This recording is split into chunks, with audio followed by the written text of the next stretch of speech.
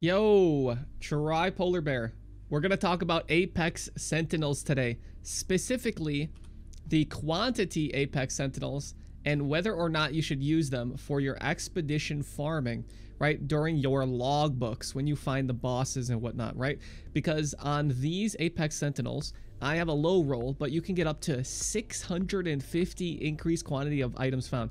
Doesn't that sound crazy? On the expedition bosses, when you find them in logbooks, they drop the reroll currency. Imagine how much reroll currency you can get, right? And if you look at our tree, I have the Apex Sentinel grant increased rewards, whatever. That's for whatever random one it gives. Uh, this is really just so it doesn't empower your rare enemies that might spawn during the uh, boss encounter. Uh, it's going to give them extra empowerment, you know, all of this stuff. I was like, oh my gosh, dude, I can't wait for the boss and so I bought two logbooks. I split both of them so I could have a nice even. We've got all the Apex stuff. I've got quantity. I split my logbooks. Uh, I rolled two logbooks. We got 80 quant on each. Uh, on one, I got 11 remnants and didn't use my sentinel. On the other, I got 11 remnants and did use my sentinel. If you don't know, the remnants, that thing where it has a upside and a downside, like an altar in your logbooks, uh, that you put your little plunger over to explode. Uh, not the chests, but the remnants. Those those give 5% reroll currency quantity. So you want to stack as many of those as possible before you hit the boss, right? So that you get more and more and more. Now, obviously, it makes it a lot more difficult, especially empowered. I was like, dude, oh my, I'm going to stack all these remnants. The boss is going to be so much more powerful. I added some whatever ones, right? It's not as many as I could, but 11 is what it worked with. And I try to get it done fast. Uh, and I got to the boss. I did the no sentinel and I got 18 exotic coinage. And I was like, okay.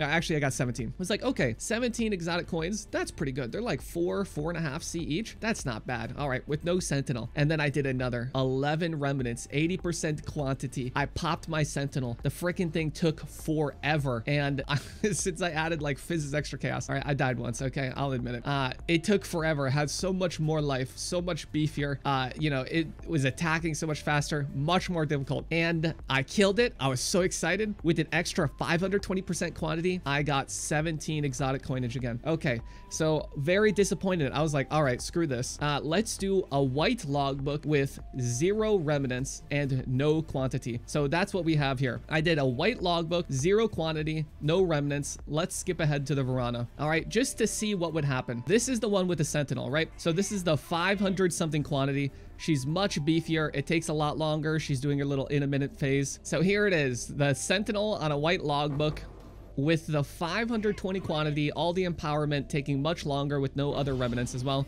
we get 7 exotic coinage. So guess what happens when I do the exact same logbook that I split? I add no quant to it, right? It's a white logbook.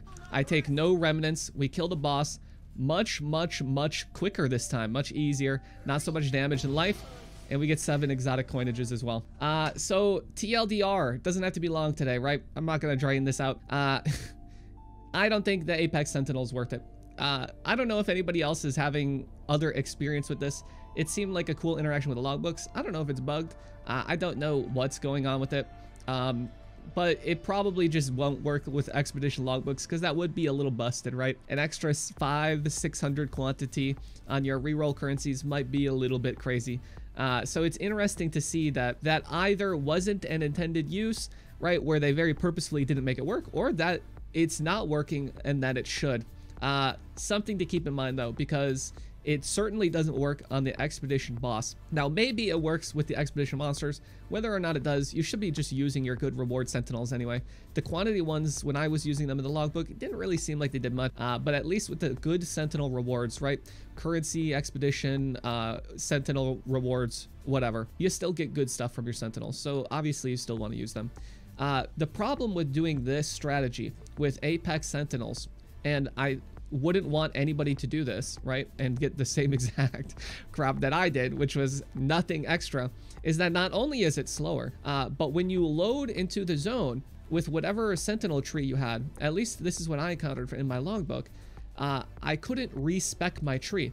So if you do Apex Sentinels in your logbooks, if you don't buy logbooks that specifically say they have Vorana in them, which are much more expensive and hard to obtain, uh, you're entering a random logbook. It's not going to have Vorana in it every time. Your Sentinel tree. If I go in there, you can change it, but it doesn't change uh, what sentinels you can use, right?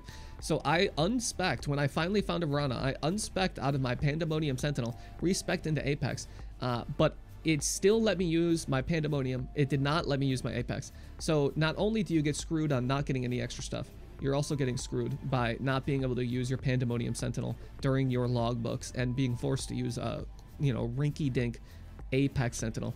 So TLDR, don't use it. Not worth it in logbooks. Anyways, catch you guys on the live stream, twitch.tv slash Like and subscribe. I'll see you guys there. Bye.